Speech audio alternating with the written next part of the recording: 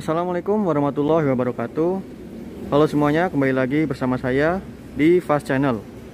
Di video kali ini saya akan mereview satu unit Toyota Kijang Innova Zenix Tipe tertingginya ya, Q Hybrid yang pakai body kit Modelista.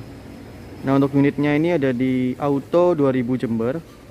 Nah bagi kalian yang ingin mengetahui harga, alamat, dan kontak marketingnya untuk melakukan pemesanan Nanti saya cantumkan semuanya di deskripsi ya Oke kita langsung bahas dulu dari eksteriornya di bagian depan. Nah ini mobilnya seperti ini warna hitam. Untuk lampunya di sebelah sini sudah menggunakan multi reflektor LED baik lampu dekat dan lampu jauhnya. Kemudian untuk lampu sein dia ada di sebelah bawah ya. Nah ini untuk tipe Q itu ada di sini yang sekaligus menjadi di RL nya Kemudian di atas sini ada sensor parkir yang sewarna dengan body dan rata juga dengan bodinya. Dan untuk fog lampnya untuk tipe Q ada di bagian bawah sini ya. Nah untuk fog lamp dan DRL ini juga hanya terdapat di tipe Q. Bagian bawah ini ada bumpernya yang sudah menggunakan body kit modelista. Ini ada embossnya di sini warna silver. Kemudian untuk grillnya seperti ini ya. Masih mengandung ciri khas yang lama ya ada aksen chrome-nya juga di bagian bawah. Kemudian untuk logonya di sini sudah menggunakan kaca ya. Karena di balik logonya sini juga ada sensor TSS-nya. Nah, di bagian bawahnya sini juga ada kamera 360-nya yang di bagian depan.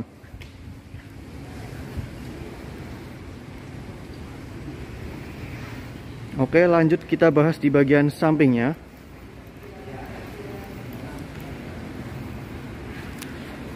Nah, di bagian bannya di sini dia velgnya ini menggunakan warna silver seperti ini ya. Kan metal, kemudian eh, menggunakan ban Dunlop SP Sport. Untuk ukurannya ada di sebelah sini 225 50 R18. Rem depan tentunya sudah menggunakan rem cakram ya. Dan di bagian atasnya sini juga ada over fendernya yang mengelilingi bodinya.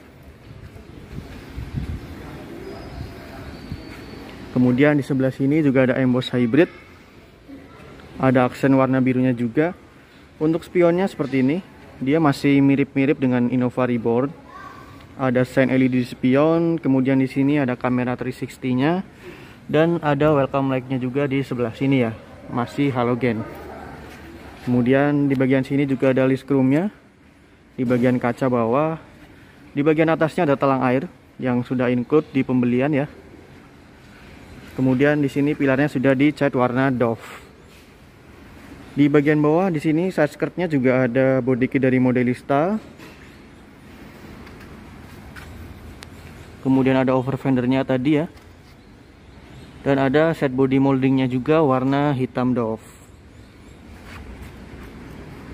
Untuk handle-nya di sini menggunakan chrome, tapi nggak full chrome ya, hanya tipis saja di bagian sebelah sininya.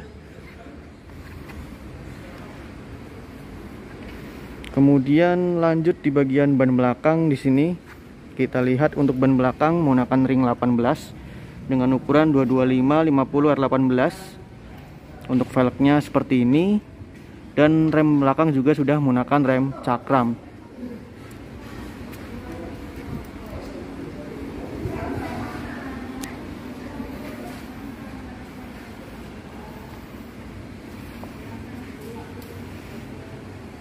Lanjut di bagian belakangnya di sini kita lihat lampunya. Untuk lampunya di sini masih menggunakan bohlam ya untuk lampu sein dan lampu mundurnya. Sementara untuk lampu utamanya di sini sudah menggunakan lampu LED. Baik lampu malam dan lampu remnya. Ada list chrome juga di bagian atas lampunya. Ada wiper belakang, rear defogger, high mount stop lamp LED, ada rear spoiler dan juga ada antena shark fin. Di sini ada beberapa emblem, ada emblem Kijang, Innova, Xenix. Kemudian yang di sebelah kanan sini ada emblem Q dan hybridnya.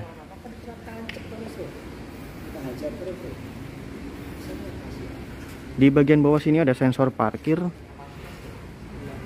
sebanyak 5 titik ya. Kemudian ada body kit modelistanya, ada embossnya juga. kemudian di sini juga ada bumpernya nih yang menggunakan cetakan waffle kemudian ada reflektornya. Nah sementara untuk kamera belakang atau kamera mundur ada di sebelah sini. Sekaligus menjadi kamera 360 ya. Untuk ban serep di bagian bawah sini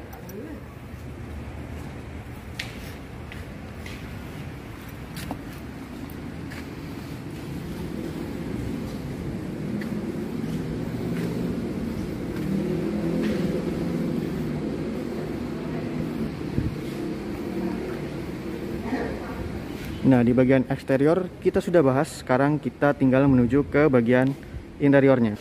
Nah, untuk kuncinya itu seperti ini. Ada tiga tombol, tombol lock, unlock, dan pembuka bagasi yang sudah power back door. Sementara di baliknya di sini ada logo Innova dan embossnya ya, tulisan Innova. Oke, karena sudah menggunakan keyless, kita cukup kantongi saja kuncinya. Kemudian menyentuh di sini ada guratan nih untuk lock dan spionnya akan tertutup. Kemudian untuk unlock kita cukup genggam saja handlenya. Maka spion akan otomatis terbuka.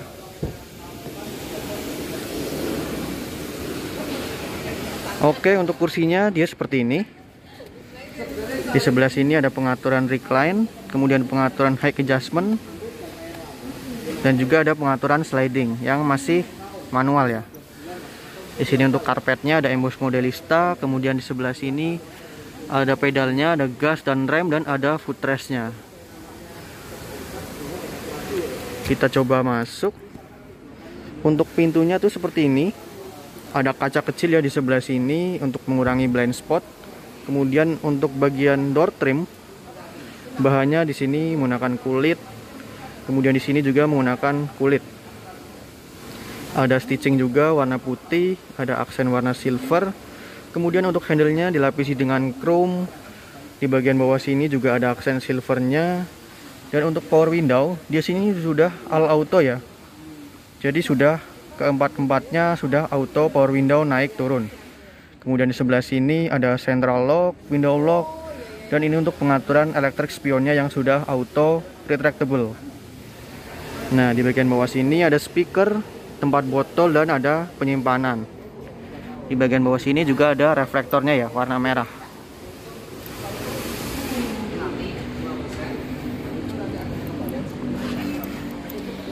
Nah untuk dalamnya seperti ini. Di bagian kanan sini kita lihat dulu ada kisi AC yang dilingkari dengan aksen warna silver. Kemudian di sini ada bahan kulit. Di bawahnya sini ada cup holder nih jadi bisa dingin ya karena di depan AC kemudian di bagian bawah sini ada beberapa tombol seperti tombol ionizer auto high beam ini untuk headlamp leveling ini untuk security alarm ini untuk power back door dan ini untuk voice power back door ya. Jadi bisa menggunakan ucapan suara untuk membuka dan menutup bagasi belakang yang sudah elektrik. Di sini ada tuas untuk pembuka kap mesin dan tangki bahan bakar di bagian atas sini juga ada twitternya ya di bagian ujung.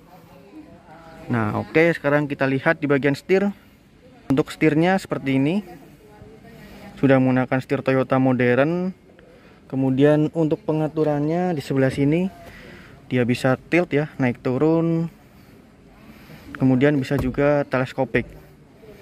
Maju mundur. Nah sudah dilapis kulit juga dan airbagnya ada 6 untuk tipe Q ya ada di setir di bagian penumpang depan di bagian pilar dan juga di bagian kursi atau joknya nah untuk tombol-tombol di setir di sini ada tombol untuk pengaturan audio, audio steering switch control untuk volume, voice command, telepon dan ada pengaturan juga untuk MID-nya. Sementara di sebelah kanan sini ada pengaturan untuk modenya. Kemudian ada pengaturan untuk voice control dan ada lim lane keep assist ya. Di belakang sini ada pedal shift untuk menurunkan gigi. Kemudian ada pengaturan wiper sudah intermittent timernya. Bisa diatur waktunya. Kemudian di sebelah kanan sini ada pengaturan headlamp. Sudah auto dan sudah terintegrasi dengan fog lamp. Di sini juga ada pedal shift yang bisa menaikkan giginya Nah oke okay, sekarang kita lihat di bagian panel speedometernya ya. Kurang lebih ini mirip dengan Toyota Foxy. Kita coba kontak on menggunakan tuas atau tombol yang ada di sebelah sini. Dengan tulisan power ya. Nah jadi seperti ini untuk speedometernya. Di sebelah kiri sini ada petunjuk ya charging, eco dan power. Karena hybrid jadi nggak ada RPM kalau charging tuh berarti lagi pengisian ke baterainya. Kemudian kalau eco kita berkendara secara eco. Menginjak pedalnya itu nggak terlalu full. Kemudian kalau kita full throttle kita gaspol gitu nah maka akan e, jarumnya akan pindah ke bagian power. Sementara di tengah sini ada speedometernya kemudian di sebelah kanan sini ada tangki bensin ya petunjuk tangki bensin dan suhu mesin Nah, kita coba ganti-ganti ya. Di sini juga ada jam, ada petunjuk transmisi dan di sini ada odometernya. Ini untuk ganti trip A, trip B dan ada instrumen cluster ya. Brightness-nya bisa diganti juga melalui tombol ini. Kemudian untuk MID-nya kita coba ganti.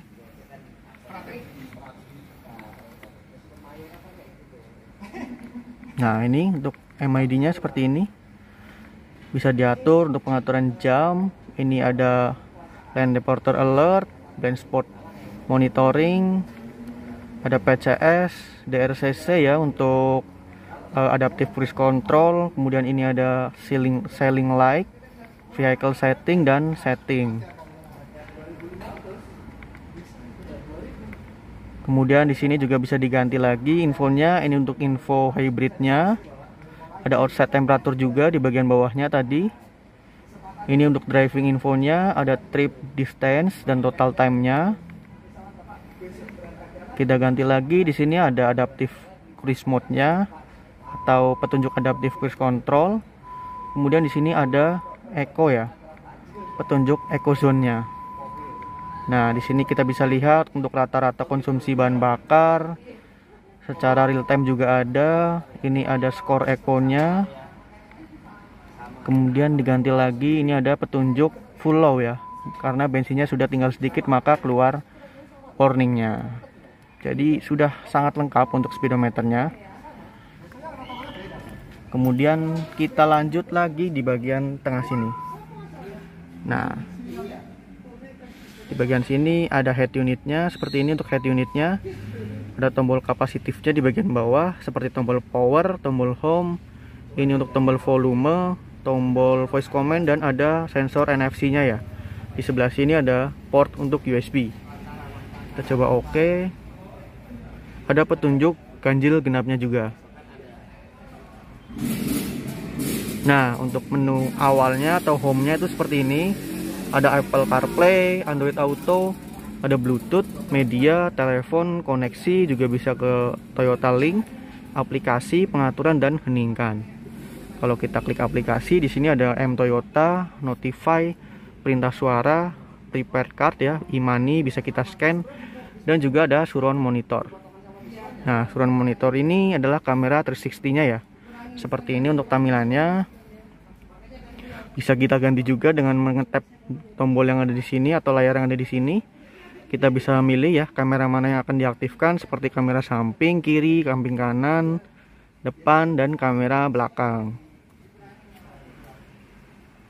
Nah, seperti ini sudah sangat lengkap juga. Kemudian untuk pengaturannya di sini ada pengaturan koneksi seluler, suara, tampilan, tanggal waktu, bahasa, aksesoris dan informasi. Informasi seperti ini, aksesoris tuh seperti ini. Kemudian di sini ada bahasa, tanggal waktu, tampilan, suara, dan koneksi seluler. Kemudian di bagian bawah sini ada AC-nya, kisi AC, ada tombol hazard. Di bagian bawah sini ada e, pengaturan AC-nya ya. Yang ini untuk pengaturan fan speed ditekan seperti ini. Kemudian ini untuk mode AC, bisa kepala, kepala kaki atau kaca depan. Ini untuk pengaturan AC belakang tuh bisa diatur lewat sini. Kemudian di sebelah sini ada pengaturan suhu. Paling dingin tuh 18 derajat. sementara paling panas itu kita coba sekitar 32 derajat jadi ada heaternya kemudian di bagian bawah sini ada on off AC nya kemudian ini sirkulasi udara ini ada front defogger rear defogger mematikan AC dan auto AC nya lanjut lagi kita lanjut di bagian bawah sini ada transmisinya ya. Transmisinya CVT ada mode manualnya juga bisa melalui pedal shift juga tadi ya. Kemudian di sebelah sini ada electronic parking brake ada auto hold ini ada drive mode nya jadi bisa kita ganti-ganti juga.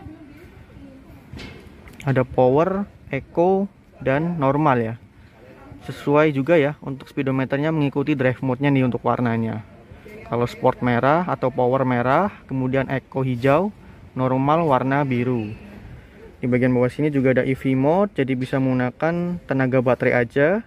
Kemudian di bagian bawah sini ada tombol stability control dan traction control. Di sini juga ada aksen silvernya ya. Di sekeliling transmisi. Kemudian lanjut di bagian bawah sini ada uh, port USB ya. Port USB Type C dua buah. Kemudian di sebelah sini ada cup holder nih, dua buah juga. Nah, di sini ada armrest, lapis kulit. Kalau dibuka sini ada wireless charging. Nah, kalau diangkat, wireless chargingnya ada penyimpanan di dalamnya. Nah, yang aneh tuh ini ya, konsolnya hanya bisa dibuka melalui satu sisi aja. Seperti ini. Jadi, kalau yang dari sisi penumpang depan itu agak susah untuk mengaksesnya. Nah, ini untuk kursinya ya. Di sini headrestnya sudah terpisah, kemudian ada seat belt height adjustment bisa diatur untuk seat beltnya. Hand grip di sini juga sudah retractable. Di sini ada mikrofon. Kemudian ada sun visor, di sini ada kaca dan ada lampunya. Lanjut di bagian tengah sini juga ada lampu. Cuma lampunya masih kuning ya, belum LED. Di sini juga ada spion, spionnya sudah auto. Di sebelah sini juga ada DVR dari Toyota langsung nih, built-in, mirip yang ada di Land Cruiser ya. Untuk sun visor di sisi driver seperti ini, ada kaca dan ada lampunya. Kemudian ada hand grip juga di sebelah sini ya. Sudah retractable. Nah, di sini juga ada kartu ya. Tempat penyimpanan kartu. Nah, di bagian sini juga ada panoramic sunroofnya ya yang sangat luas nih.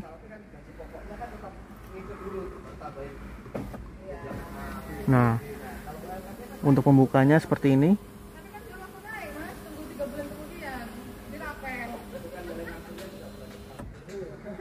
Di sini bisa dibuka tirainya dan juga bisa dibuka kacanya ya. Ini sangat luas sekali nih untuk panoramic sunroofnya. Nah, kalau dibuka kacanya tuh mencet tombol yang ada di sebelah sini. Oke, jadi di bagian depan kurang lebih sudah sekarang kita coba lihat di bagian belakang dan bagasi juga ya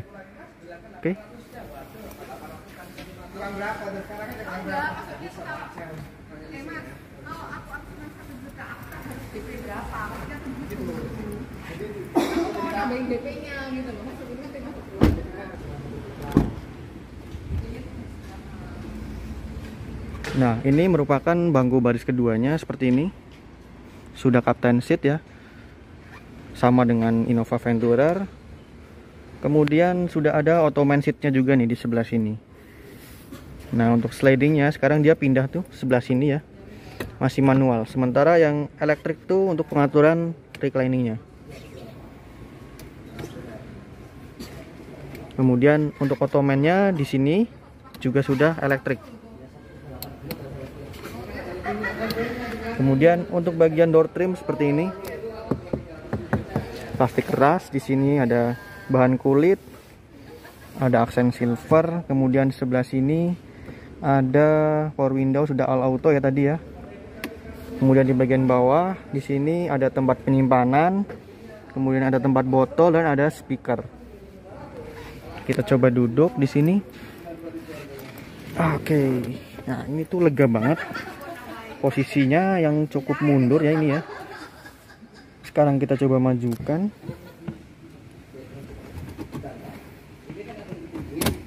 Nah di sini tuh masih lega juga ya nih. Masih lima jari lebih. Kemudian di sini ada kantong penyimpanan. Di sini juga ada. Di sini juga ada hook buat kantongin belanjaan kemudian untuk pengaturan AC nya sekarang pindah ke sini ya ini untuk pengaturan untuk ambient light ini untuk pengaturan AC nih untuk fan speednya bisa digede atau kecilkan ini off dan ini autonya sementara di bawah sini ada dua buah charging port ya USB Type C. Nah, kemudian di sini ada TV belakang ya. Ini kita nyalakan dulu ya dari sana harusnya. Kita kontak on dulu sebentar.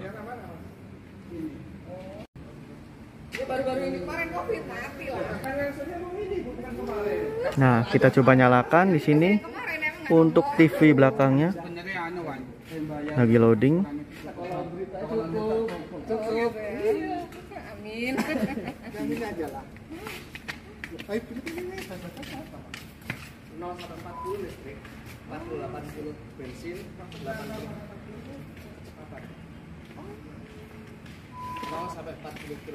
Nah, seperti ini ya. Untuk tampilan belakangnya di sini bisa diatur secara individual kanan dan kiri. Ini ada semua video, gambar, musik, film, pengaturan dan aplikasi. Di sini juga bisa lihat ada Netflix, Spotify dan YouTube. Di sini ada tombol kapasitif juga seperti menu, uh, volume dan ini ada recent apps dan setting ya. Jadi mirip-mirip Android nih untuk TV belakangnya nih. Oke, di sebelah sini kita bisa lihat ada lampu. Ada lampu kabin, halogen dan ada kisi AC-nya. Nah, sementara di sebelah sini ada hand grip retractable kemudian ada gantungannya juga di sebelah kiri sini juga sama ya ada lampu ada kisi AC dan ada hand grip retractable. Dan ada gantungannya juga. Nah untuk kursinya tuh seperti ini ya. Di sini ada armrest. Kemudian ada seat beltnya juga di sebelah sana. Headrestnya di sini terpisah. Dan di bagian tengah sini tuh ada meja. Nah seperti di Alphard. Nih ada cup holder dan ada mejanya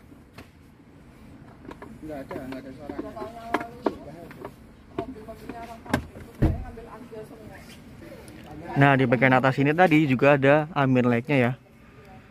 Meskipun nggak full sampai ke depan nih tapi sudah lumayan nih sudah mewah. Oke di bangku baris kedua sudah. Sekarang kita coba lihat ke bagasinya ya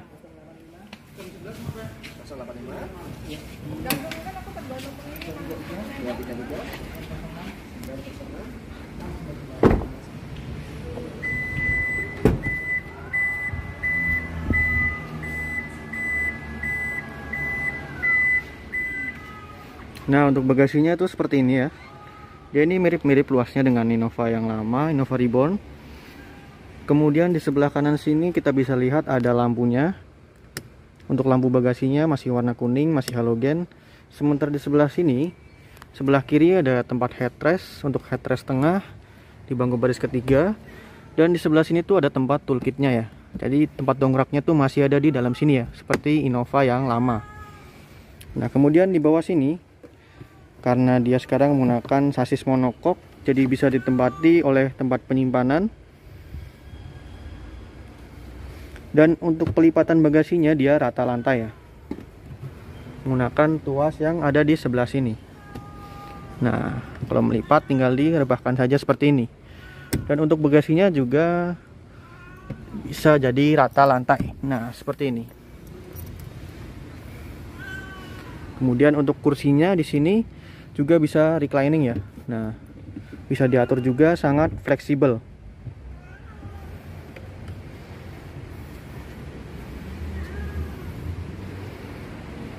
Nah untuk menutupnya di sini ada dua buah tombol ya. Ini untuk menutup saja dan ini untuk menutup sekaligus mengunci. Dan di Innova Zenix tipe Q ini juga ada, nah ini voice-nya ya. Jadi ada petunjuknya di sebelah sini untuk menggunakan voice-nya untuk membuka dan menutupnya dengan ucapan Hai Innova, Say Hai Innova untuk mengaktifkan voice-nya. Nah, bisa dilihat di sini untuk menutup dan membukanya.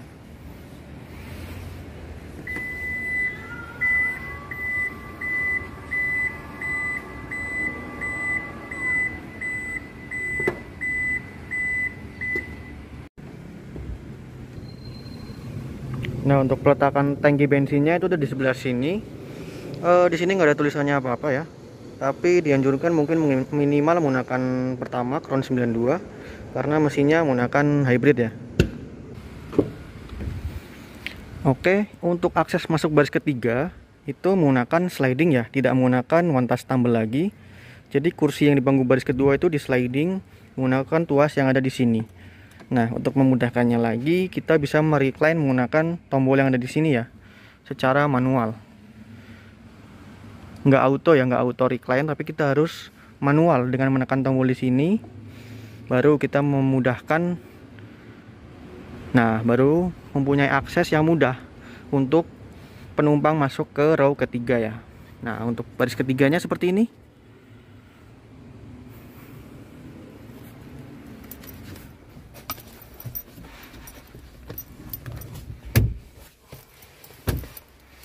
Nah, masih cukup luas di sini.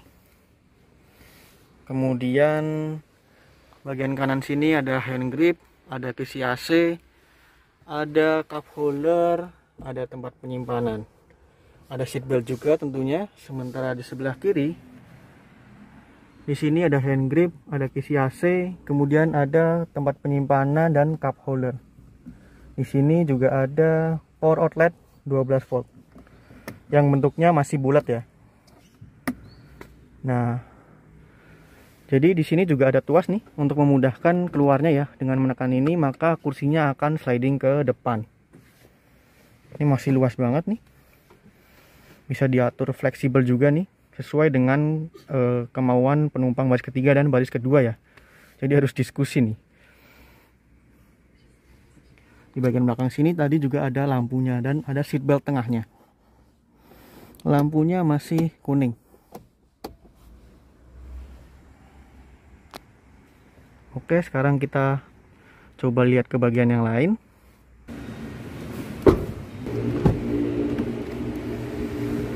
Oke di bagian penumpang depan seperti ini ya. Untuk pengaturan kursinya ada pengaturan recline dan sliding saja.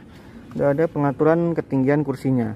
Nah untuk baterainya tuh penempatannya sebelah sini ya. Ada kisi ininya juga, kisi anginnya untuk mendinginkan baterainya. Kemudian di sini ada apar juga nih penempatannya di sebelah sini. Nah untuk bagian dashboard penumpang depan seperti ini ya. Ada kisi AC ada cup holder di bagian bawah sini. Ada emboss modelista di sebelah sini nih. Nah kemudian di sini ada penyimpanan penyimpanan terbuka seperti ini ada power outlet juga model bulat di sini ada bahan kulit jahitan juga dan ada aksen silvernya. Nah di bawah sini ada penyimpanan tertutup. Sudah slow opening ya untuk membuka dan penutupnya. Nah tadi di sini juga ada twitternya ya. Dan front defoggernya keluar dari sini untuk sensor TSS-nya ada di sini ya. TSS 3.0. Oke, di bagian interior dan eksterior sudah. Sekarang kita coba lihat ke ruang mesinnya ya.